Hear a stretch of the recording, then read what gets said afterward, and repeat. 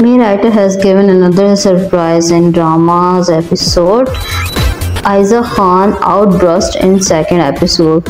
Hello guys अस्सलाम वालेकुम उम्मीद है कि सब खैरियत से होंगे। सो so, दोस्तों हाजिर हैं आपके सामने ड्रामा सीरियल में एपिसोड टू का रिव्यू लेकर जी हाँ आपको बताते हैं एपिसोड टू में क्या हुआ। मैं एपिसोड फ़र्स्ट के एंड में हमने देखा था कि आयज़ा यानी कि मुबशरा को एक बहुत ज़बरदस्त सरप्राइज़ मिला है। जिसे देख के वो शॉक्ड हो जाती है। और यहाँ जब उसने वो पेपर्स खोले हैं और पता चला है कि जी, मुबशरा को मुहिब ने डाइवोर्स दे दिए जिसे लेके वो अपने फादर के पास भागती है, कहती है, ये कैसे हुआ? किस तरह से किया उसने? मतलब सीरियसली इस ड्रामा के अंदर ना सरप्राइजेज मौजूद हैं और ये डेफिनेटली ब्लॉकबस्टर होने वाला है। आयजा खान की एक्टिंग की वजह से, साथ ही साथ वहाज अली की एक्टिंग की वजह से, क्योंकि दोनों ही बहुत अमेजिंग लग रहे हैं। और यहाँ पे किस तरीके से वहाज यानी कि जैद ने उसे संभाला है मुबशरा को, वो सच में देखने लायक था। क्योंकि आयज़ा ख़ान की acting as M J in this episode वो सुपर और इसी तरह वहाज अली की एक्टिंग का रोल जो है ना, उसे बहुत ज़बरदस्त सूट कर जाता है हमेशा की तरह से। क्योंकि यहाँ जब उसको पता चला तो मुबशरा कहती कैसे हिम्मत हुई उसकी? उसकी औकात क्या है? That was I mean seriously mind blowing देखने में तो बहुत मज़ा आया। जिस तरीके से उसने बोला था उसे सरप्राइज़ देने के लिए। और जिस तरह से उसे जैद संभाल रहा था मुबशरा को, उसे वहाँ से पार्टी से अंदर ले जाता है, उसको बिठाता है तसली देने की कोशिश करता है, उसको समझाने की कोशिश करता है तो मतलब सच में बहुत अमेजिंग था। इवन कि वो कहते हैं कि तुम समझ नहीं सकते हो क्या चल रहा है। मतलब मुबशरा का जिस तरह का आउटबर्स्ट होना चाहिए था ना, और जिस तरह से वो ब्रेक डाउन हुई है तो वो सच में देखने लायक था। और मुझे लगता है कि आयजा खान से बेहतर एक्टिंग इस करेक्टर के लिए कोई नहीं कर सकता था। जिस तरह के वॉइस ओवर चाहिए, जिस तरह का गुस्सा एंगर और जिस तरह की उदासनेस फेस पे चाहिए ना, वो सब इसमें हमें मुबशरा का करेक्टर करते हुए आयजा खान नज़र आई हैं। क्योंकि उनको याद आता है किस तरह मोहित ने कहा था कि वो उसे ऐसा सरप्राइज़ देगा कि वो ज़िंदगी भर याद रखेगी। और उसने ऐसा सरप्राइज़ दिया है कि मतलब सीरियसली उसको डाइवोर्स दे के रख दिया है और सबके सामने वो भी, किसी से छुप के नहीं, सबके सामने। तो मतलब मुझे लगता है कि ये ऐसा होना नहीं चाहिए था, क्योंकि दूसरी तरफ़ हमने ये देखा कि मोहब जो है वो मुबशरा की फ्रेंड हिना के साथ जो है वो देखता हुआ नज़र आया है। तो जिस तरह से हाँ डाइवोर्स देनी थी, ठीक था, लेकिन जिस तरह उसने डाइवोर्स दी है, वो गलत था और उसी हिसाब से जिस दिन वो उसे डाइवोर्स दे रहा है, उसी दिन वो हिना यानी कि मुबशरा की फ्रेंड से जो है वो निकाह करने जा रहा है। तो कोई भी डेफिनेटली गुस्सा कर सकता है और इस तरह से छोड़ना गलत था। अभी तो खैर मुबशरा को पता नहीं है कि उसकी दोस्त ने क्या हरकत की है उसके साथ। तो ये देखना मज़े का होगा क्योंकि एक तरफ़ मुहिब ने डाइवोर्स दी है दूसरी ही तरफ़ वो जो है हिना से निकाह करते हुए भी नज़र आया है। मतलब वाओ ये कैसा तरीका है? आपने डावोस देनी थी, दे देते, लेकिन इस तरीके से डावोस दे के फिर जो है वो उसकी दोस्त के साथ जाके शादी करना दैट वॉज़ आई मीन एक तरह से गलत आ, वो सामने लाया जा रहा है। चलो एक दो दिन बात कर लेते तो समझ में भी आता। और सेम डे एक तरफ़ वो बेचारी ब्रेक डाउन हुई है मुबशरा दूसरी तरफ़ जो है वो हिना के साथ वो निकाह किया जा रहा है। तीसरी तरफ़ हमने देखा किस तरह से माहिर जो है वो अपने भाई को ढूंढते हुए नज़र आई अपनी भाभी से पूछती है कि भाई आ, भाई नहीं आया अब तक वो बेचारे परेशान हो जाते हैं क्योंकि वो गए थे और अब तक उनके वापस आने का कोई पता नहीं होता। जिससे भाभी भी परेशान होती है, वो खुद भी परेशान हो रही होती है।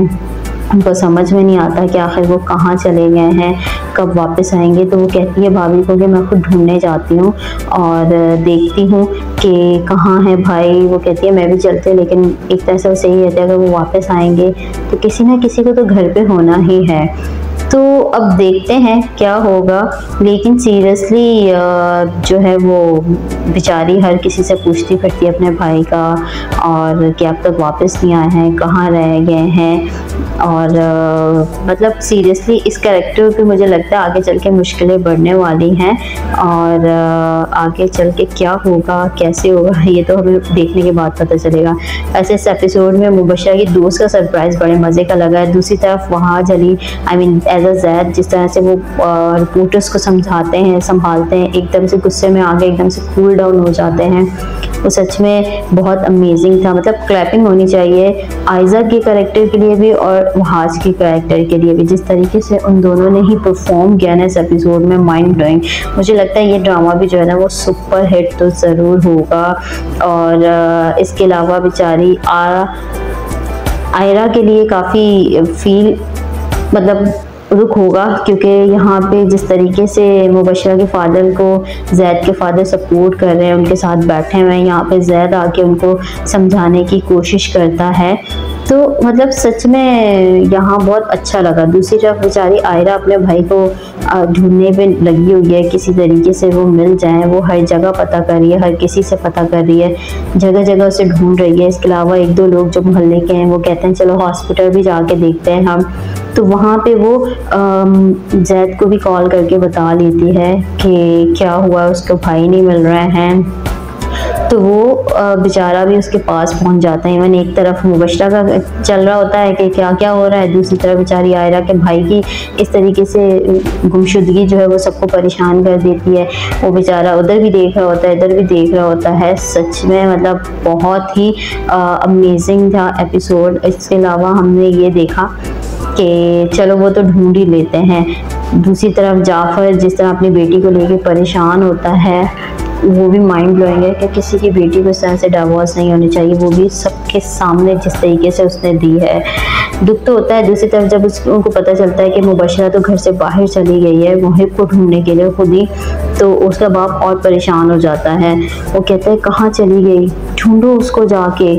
तो उसका दोस्त समझाने की कोशिश करता है कि भाई परेशान मत वो कुछ नहीं होगा। लेकिन उनको पता होता है कि मुबशरा का गुस्सा कैसा है एंगर कैसा है।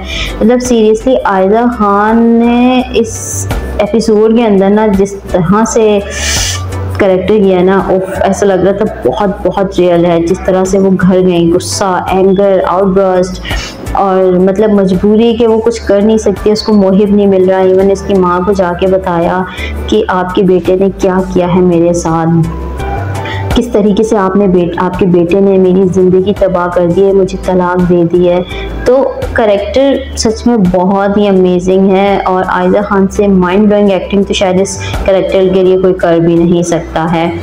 और सीरियसली uh, इसके अलावा सैनमाटोग्राफी और मतलब जिस तरह के गूसबम दिए हैं ना आयजा खान की एक्टिंग ने वो सच में बहुत बहुत अमेजिंग थे।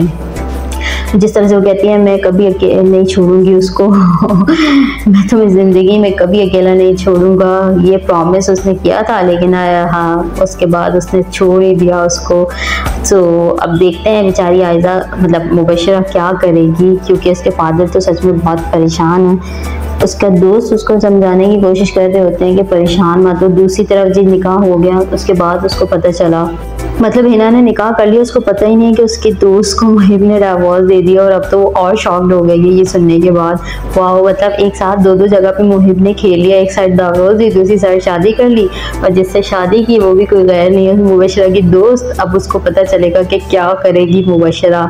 तो मतलब सीरियसली बहुत मज़ा आ रहा है देखने में ड्रामा सीरियल दूसरी तरफ़ जब वो अपनी माँ के पास जाता है मोहिब और जिस तरीके से उसकी माँ उसको थप्पड़ मारती है कहती भी सही है कि भाई, तुम शादी का फैसला तो तुम्हारा अपना था मुबशरा से तो तुम्हें निभाना चाहिए था। अगर नहीं निभा सकते थे तो तरीके से तो करते हैं। उनकी तरबियत पे मुबशरा जो है वो सवाल उठा के चली गई है। दूसरी तरफ़ जब उसकी माँ को पता चलता है कि, जी, निकाह भी बेटा करके आ गया हो। हो बेचारी के एक्सप्रेशन देखने लायक होते हैं। और हिना जो है वो, उसको पता ही नहीं कि उसकी दोस्त क्या करने वाली है उसके साथ। मतलब अजीब ही किया है मोहिब ने ऐसा करना नहीं चाहिए था। चलो हमें ये तो आइडिया था कि वो डाइवोर्स दे रहा है। ये नहीं पता था कि भाई वो मुबशरा के दोस्त के साथ ही चक्कर चलाने पे लगा हुआ है और उसके साथ जो है वो आ, जो है निकाह भी करने के लिए तैयार हो गए। ठीक है करना चाहिए ऐसा नहीं है लेकिन जिस तरह से किया है ड्रामे के अंदर वो गलत भी था। ऐसा होना नहीं चाहिए था। लेकिन खैर देखते हैं क्या होता है। ज़बरदस्त चल रहा है क्योंकि मोहिब की गाड़ी को जो है वो फाइनली फाइनली मुबशरा के भाई ने देख लिया वो बाकायदा कॉल करके मुबशरा को बताता है। दूसरी तरफ़ मुबशरा बता रही होती है कि भाई उसकी माँ ने उसको छुपाया है। वो घर पे योगा बता नहीं रही है। लेकिन अब उस जब उसको पता चल गया तो वो एक बार फिर क्या करती है? मुबशरा मुहिब के घर जाने के लिए तैयार हो जाती है। दूसरी तरफ़ फाइनली आयरा का भाई मिल जाता है। पता चलता है कि उनको थोड़ा सा हार्ट अटैक हुआ है। जिसकी वजह से वो बात बहुत परेशान थी। यहाँ पे ये कि जैद भी एक उसके साथ बैठा हुआ आता है और जैद के फादर जो है ना, वो उसको कॉल करके कहते हैं कि भाई तुम जाओ। अब उसके भाई की तो चलो तबीयत ख़राब है, वो उसको जाने के लिए कह देती है, मना लेती है। खैर, दोनों के लिए बहुत बुरा लग रहा है, क्योंकि बेचारी की मुझे लगता है आगे चल के ज़िंदगी मुश्किल में आने वाली है। जैद तो उसको हासिल होने वाला नहीं है, लेकिन जैद के फादर क्लियरली बोलते हैं कि भाई मुबशरा इस तरीके से गुस्से से गई है। जाके जो है ना, उसको संभालो। मतलब जैद के अलावा कोई और मुबशरा को मुझे लगता है संभाल ही सकता है। लेकिन सच में देखने में बड़ा मज़ा आएगा, क्योंकि नेक्स्ट एपिसोड बड़ी इंटरेस्टिंग होने वाली है। जब मुबशरा को ये पता चलेगा कि उसका निकाह तो हस्बैंड ने जो है, उसकी दोस्त के साथ निकाह किया है। इंटरेस्टिंग होगी नेक्स्ट एपिसोड ड्रामा सीज़न में की होप आपको हमारा रिव्यू पसंद आया होगा। रिव्यू पसंद आया तो लाइक शेयर सब्सक्राइब करना मत भूलिएगा। कमेंट्स में बताइएगा वीडियो कैसी थी। नेक्स्ट टाइम हाजिर होंगे अपना बहुत ख्याल रखिएगा। अल्लाह हाफिज़।